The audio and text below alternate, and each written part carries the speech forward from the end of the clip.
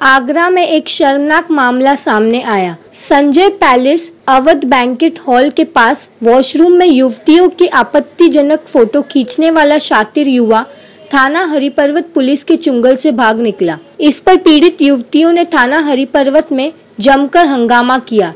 इस दौरान एक युवती ने बताया कि विकास नाम का यह युवा पिछले कई दिनों से संजय पैलेस में विभिन्न कंपनियों और शोरूम पर सर्विस करने वाली युवतियों पर फफ्तिया कसता था। आज जब हद हो गई, जब इसने वॉशरूम में चिपकर युवतियों की आपत्तिजनक फ़ोटो मोबाइल में खींच लिए, थाना हरिपर्वत में एसपी सिटी एएसपी के भी कार्यालय है।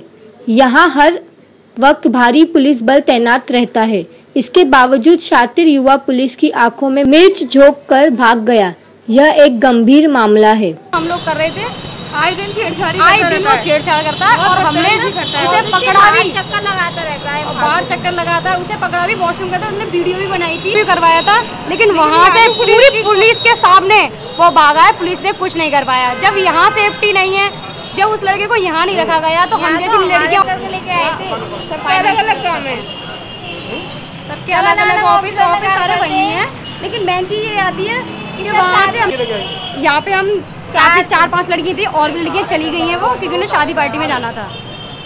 तो इसलिए वो चली गई लेकिन वो कल आ लेकिन यहाँ की पुलिस वाले कुछ करते ही नहीं है यहाँ के। पुलिस वालों ने क्या किया? इतनी सारी पुलिस होने के बावजूद वो लड़का भागा है। बताइए। हमारे लोग पकड़ के लाए थे हाँ वो लड़का पहले भी देखा था उसकी हरकतें पहले भी बताई गई है हरिपाल थाने में कई बार निकाली गई है। तब भी कोई सेफ्टी नहीं है लड़कियों के लिए। क्या सेफ्टी है इस पुलिस थाने में? कुछ भी नहीं है। मैं ये कहना चाहती हूँ आज हमारे साथ ये घटना हुई है तब भी पुलिस वालों ने हमने उसे कैसे भी करके पकड़ के यहाँ थाने में रखा लेकिन पूरी पुलिस के सामने वो लड़का यहाँ से भागा है। आप बताइए अब क्या करना चाहिए? मैं चाहती हूँ आगे की कार्रवाई करें उस लड़के को सख्त से सख्त यहाँ सजा मिलनी चाहिए।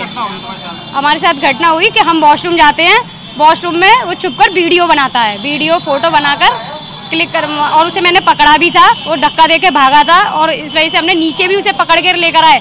और यहाँ पुलिस थाने में भी हमने उसे रिपोर्ट लिखाई लेकिन कोई कोई कार्रवाई नहीं की गई। खड़े हैं अब भी सारे लोग। कोई कार्रवाई नहीं है कोई निकल के कोई सुनवाई नहीं कर रहे हैं। यहाँ पर तो हमारे लोग लेके आए थे उसको। यहाँ पर तो हमारे लोग लेके आए थे उसको। और फिर भी पुलिस के पास से वो भाग गया। जी यहाँ कोई सुनवाई हो ही नहीं रही है।